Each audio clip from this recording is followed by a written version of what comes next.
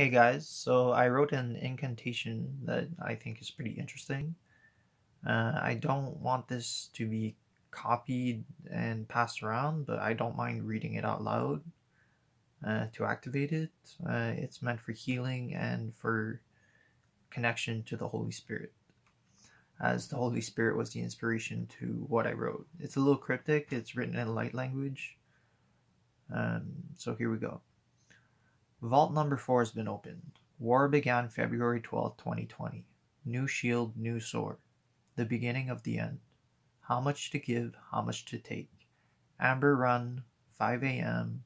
Love. Creative force return. I'm gonna love you now. Flames grow higher. Leave the rest behind. Life's for living. Third eye chakra activation.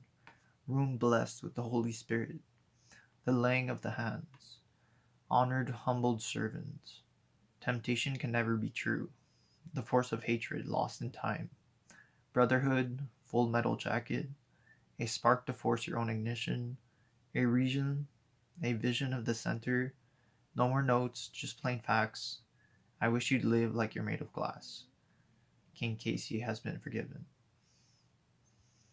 So if this made you feel anything in particular, please leave a comment and let me know if this was able to help you. And if it was, I'm glad that it was. So thank you for watching and have a great day.